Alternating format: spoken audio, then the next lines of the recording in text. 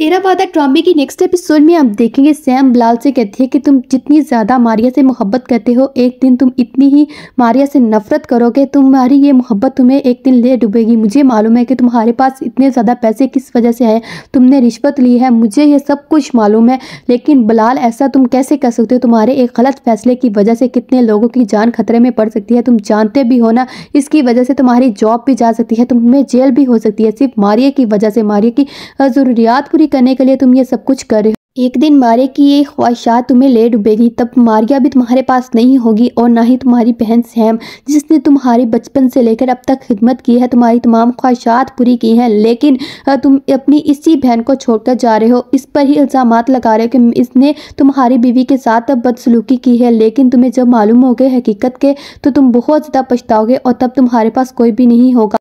तो व्यूवर्स आपको इस ड्रामे में किसका करेक्टर ज़्यादा अच्छा लग रहा है सैम या फिर मारिया का कमेंट करके हमें ज़रूर बताएगा वीडियो अच्छा लगे लाइक करना मत थैंक्स फॉर वॉचिंग माई